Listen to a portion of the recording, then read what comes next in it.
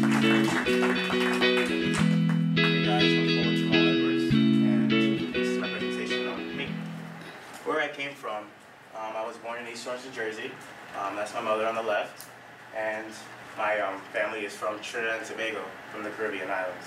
Um, my family, you know, um, is very large, but the immediate is just me and my mother.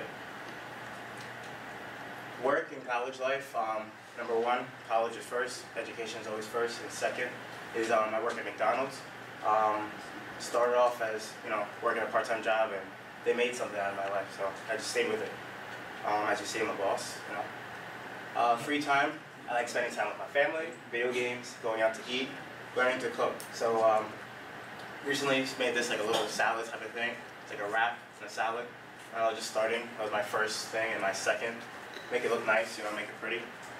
Um, my future, um, I always like to say I'm going to be. I don't want to say I want to be.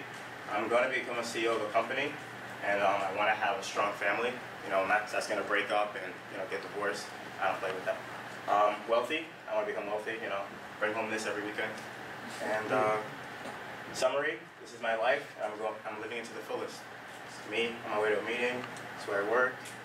And um, I see we have a lot of um, Stroudsburg people.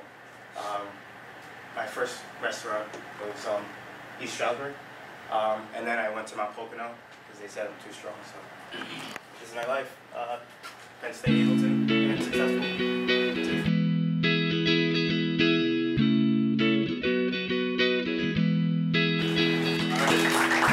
Thank